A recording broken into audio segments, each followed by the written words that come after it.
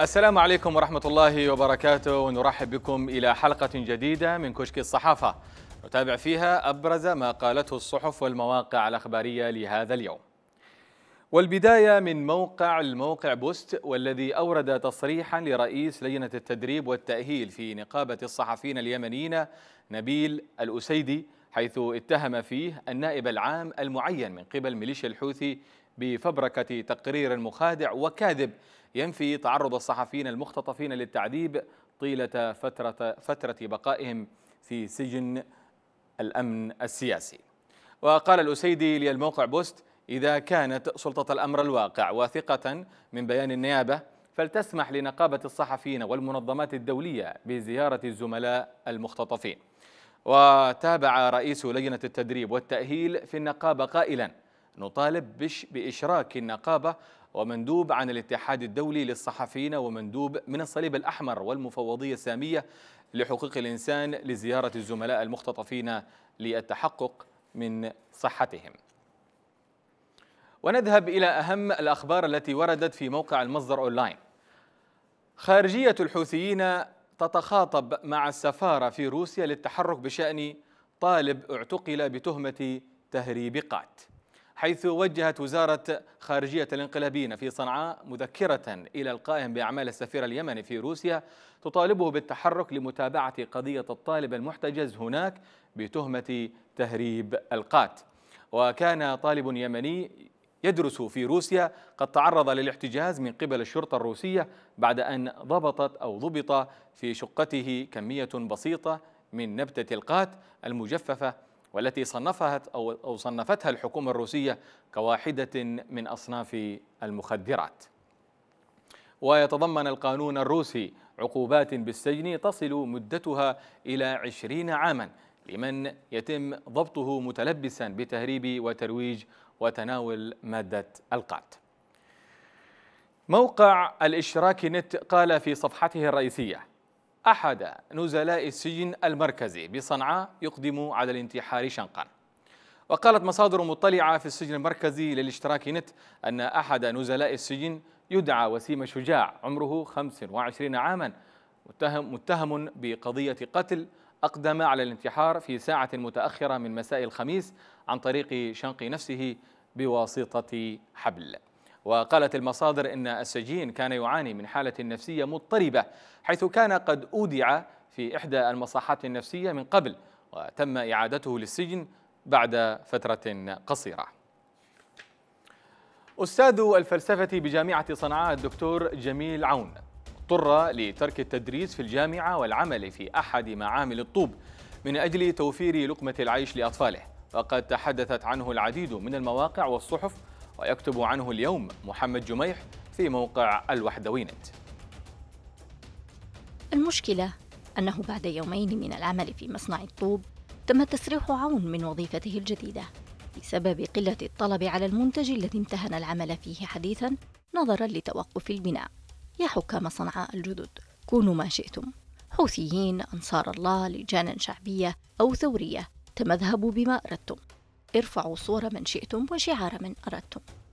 لكن أن يصل الحال بأستاذ جامعي إلى أن يعمل في مصنع للإسمنت ومع ذلك يفصل بعد يومين أن يصل الأمر بالأستاذ إلى أن يبيع القات فهذه إدانة كاملة لعصركم. عصر الشعارات والصرخات والأدلوجيات والفساد والنهب وقلة العقل والدين. ستقولون العدوان والحصار هما السبب وسنوافق على ذلك. لماذا إذا لا يتساوى الناس في أثار هذا العدوان؟ ولماذا تعج الأسواق بكل شيء يكذب رواياتكم عن الحصار؟ لماذا بنى الكثير منكم العمارات واشتروا الأراضي والعقارات؟ وأسسوا الشركات الغازية والنفطية؟ وفتحوا فروعا لهذه الشركات في عواصم عربية وعالمية؟ لو كان الأمر بسبب الحصار كما تقولون لما كانت الأسواق تعج بأنواع السلع من كل العالم؟ المشكلة ليست في انعدام البضائع المشكلة في انعدام المرتبات وانعدام الضمير. إلى موقع مسند والذي سلط الضوء حول واحدة من القضايا المهمة وهي التعليم وعنون الموقع. ميليشيا الحوثي مجددا تحوث التعليم بالقوة. ويقول الموقع ميليشيات الحوثي أقدمت على تسريح عدد من المدرسين الأساسيين بمدرسة حكومية بعمران وعينت مكانهم مدرسين آخرين موالين لها مع أنهم أقل كفاءة. وينقل الموقع ما قاله مركز المستقبل الإعلامي بعمران من أن الميليشيا في مديرية المدان قامت باستبدال المدرسين الأساسيين بمدرسة أركان الثانوية بمنطقة ذو, ذو جمعان بمدرسين آخرين من عناصرها لا يحملون أي مؤهلات. وكانت الميليشيات وفق الموقع قد أغلقت مطلع الأسبوع الماضي المدرسة وهددت مدرسيها بالطرد على خلفية رفضهم تنفيذ أنشطة مدرسية طائفية حاولت فرضها عليهم بالقوة. موقع المشاهد في صفحته الرئيسية عنوان اختطاف رئيس جمعية الأقصى بذمار والمصير مجهول حتى اللحظة. وقال شهود عيان للمرا... للمراسل المشاهد بذمار أن أفراد يتبعون أحد القادة الحوثيين في المدينة اختطفوا رفاد أبو شايع قبيل عصر السبت من أمام محطة الأزرق أثناء عودته إلى منزله. ويقول الموقع هذه الحادثة ليست الأولى من نوعها بل سبق وأن تم تكرار السيناريو بحق عدد من أبناء المحافظة ضمن سلسلة اعتقالات متتالية ينفذها مقاتلو الحوثي وقوات الرئيس السابق صالح بذمار. ونقرأ من موقع عدن تايم الذي تابع عددا من الموضوعات منها. في عدن طلاب يعزفون الموسيقى في فصول خالية من الدراسة. وقال الموقع تبدو معظم فصول معهد جميل غانم للفنون الجميلة بالعاصمة اليمنية المؤقتة عدن خالية تماما من الطلاب إلا ثلاثة منهم يعزفون مقطوعة فنية من أغنية الفنان اليمني الراحل محمد سعد عبد الله خلف الجدران. وتابع الموقع لم يعد ثاني أقدم المعاهد على مستوى الجزيرة العربية الكائن في مدينة كريتر العتيقة بعدن قابلا أو قبلة للطلاب المحبين للموسيقى والمسرح والفنون التشكيلية كما كان سابقا. بل بات يشهد حالة عزوف غير مسبوقة حيث بلغ عدد الملتحقين بالمعهد 11 طالبا فقط. عبد السلام عامر مدير معهد جميل غانم. للفنون الجميلة أرجع أسباب عزوف الدارسين إلى إلغاء وزارة التربية والتعليم. المواد الفنية في العملية التعليمية في كافة المراحل إضافة إلى إسهام وزارة الثقافة والتخطيط والخدمة المدنية في خلق هذه المشكلة حيث باتت مخرجات المعهد بلا مستقبل. إلى موقع الوحدوي نت والذي تابع حصول الطلاب اليمنيين المبتعثين إلى الخارج على حقوقهم وعنون الموقع.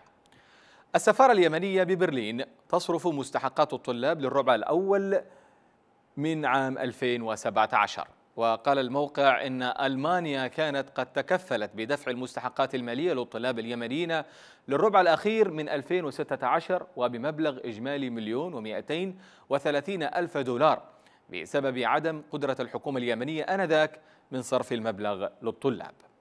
ووفقا للموقع فهذا هو ما ساعد الحكومة اليمنية الشرعية على دفع مستحقات الربع الأول من عام 2017 إلى قراءة أحد العناوين التي وردت في موقع يمن مونيتور والذي قال بدء صرف مرتبات الجيش والأمن في سقطرى جنوبي اليمن.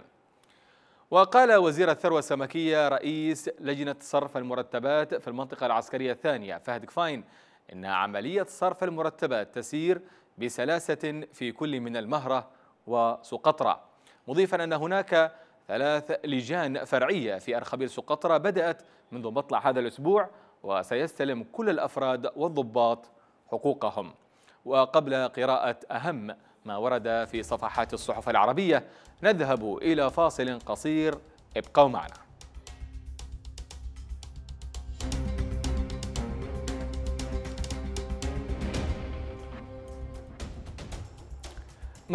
مرحبا بكم من جديد. تابعت صحيفة الخليج المعارك التي خاضها الجيش الوطني المسنود بالمقاومة في تعز وعنونت الصحيفة. سيطرة نارية للجيش والمقاومة على التشريفات بتعز. أكدت مصادر ميدانية أن أجزاء واسعة من معسكر التشريفات باتت تحت السيطرة النارية لقوات الجيش الوطني والمقاومة الشعبية. وتتابع الخليج يواصل الجيش الوطني ومعه المقاومة التقدم في الجبهة الشرقية بتعز حيث نجح في إحكام السيطرة على مدرسة صلاح الدين ومصنع البلاستيك وهي مواقع ملاصقة لمعسكر التشريفات الذي تتحصن فيه ميليشيات الحوثي وصالح.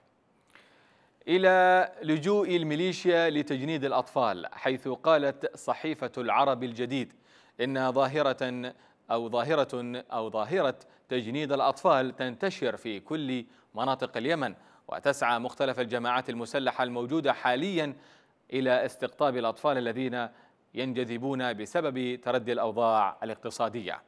وتتابع الصحيفة هؤلاء يعودون إلى مناطقهم وقد تغيروا وباتوا أكثر عنفا بسبب الصدمات التي تعرضوا إليها. وتؤكد باحثة اجتماعية تتحدث للعرب الجديد.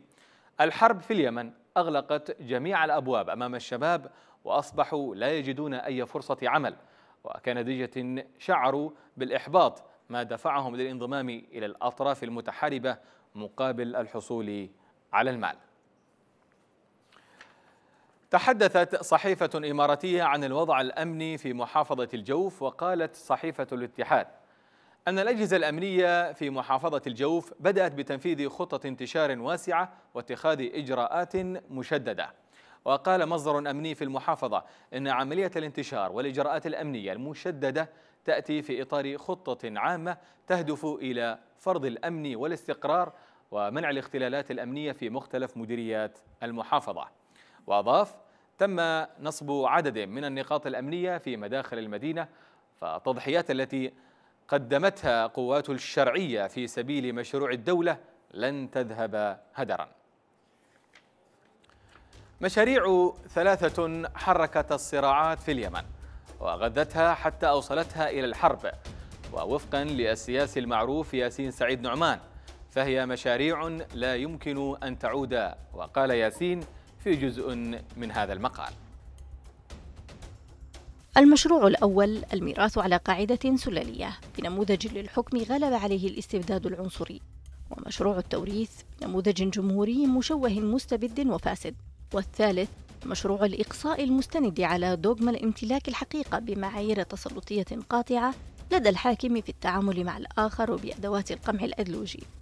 المأزق الذي وصلت إليه أوضاع البلاد يضع أمام القوى الوطنية مسؤولية الانتقال من التفاصيل في قراءة المشهد إلى الكليات التي تتعلق بمستقبل الدولة. وتقول هذه الكليات إن الثلاثة المشاريع التي جرت البلاد إلى الحرب والخراب لا يمكن أن تكون أي منها. فرادى أو مجتمعة أو ما قد يتفرع عنها من صيغ كالصيغة الطائفية أساسا للحل. إن حركة القوانين الموضوعية تتجه رغم كل العراقيل نحو خيار الدولة المواطنة ما يعني أن تجاهل هذه الحقيقة إنما هو إصرار على مواصلة التدمير والخراب لبلاد منهكة. وأي محاولات لتركيب حلول انتقائية بتسوية لا تحسب حساب الحاجة الفعلية لاستقرار البلاد ومعها مغادرة الحروب والصراعات. فإنها لن تكون سوى بؤر مولدة للصراعات والحروب الانقسامات المستمرة وعدم الاستقرار. إلى صحيفة الشرق الأوسط والتي عنونت في إحدى صفحاتها وزارة, وزارة يمنية تسعى لتصحيح معلومات مضللة نشرتها منظمات دولية. وقالت الصحيفة إن وزير حقوق الإنسان اليمني عز الدين الأصبحي كشف عن تحرك تقوده وزارته لتصحيح معلومات أو معلومات منظمات دولية قال إنها مارست تضليلا للحقائق. وأضاف الأصبحي نقل مقرات كل المنظمات الإنسانية التي تعمل من العاصمة صنعاء إلى العاصمة المؤقتة عدن من شأنه إكساب تلك الممثليات مصداقية وحيادية واستتباب للأمن. ما سيثمر عملا حقيقيا مستندا على حقائق ميدانية. ودعا الأصبحي في تصريح للشرق الأوسط إلى ممارسة ضغط أكبر من خلال العمل الدبلوماسي كي يفعل القرار القاضي بنقل أعمال تلك المنظمات إلى عدن. فمن غير المنطقي أن تعمل تلك الهيئات خارج عاصمة البلاد المؤقتة. من بين الأخبار المتداولة على نطاق واسع ما جاء في صحيفة القدس العربي والتي عنونت وزير الداخلية الألماني يطالب بتشريع ترحيل طالبي اللجوء المرفوضين من دول المغرب. وفي تصريحات لصحيفة بيلد آم زونتاج الألمانية نقلتها القدس قال الوزير المنتمي إلى حزب المستشار أنغيلا ميركل إذا تم تصنيف دول المغرب على أنها أوطان آمنة فإن إجراءات نظر طلبات اللجوء للتونسيين ستسير بشكل أسرع وأسهل مما هي عليه الآن. وتنتشر شجرات أو شجرات الميلاد المزينة والمضاءة حول العالم في هذه الفترة من السنة حيث يحرص المحتفلون بعيد الميلاد ورأس السنة على تزيين منازلهم بتلك الشجيرات التي تنصب في ساحات المدن والأماكن العامة والمباني الرسمية. نشاهد صور مختلفة وردت في العربي الجديد.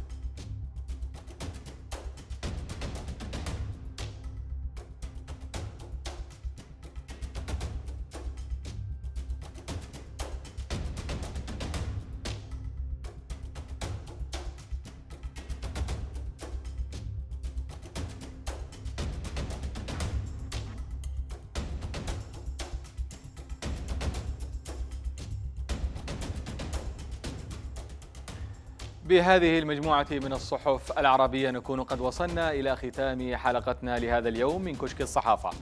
نتابع مجموعة من رسوم الكاريكاتور. إلى اللقاء.